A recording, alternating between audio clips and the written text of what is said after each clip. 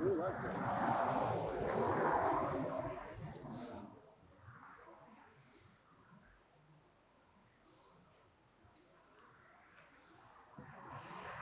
water is crystal clear and blue and clean.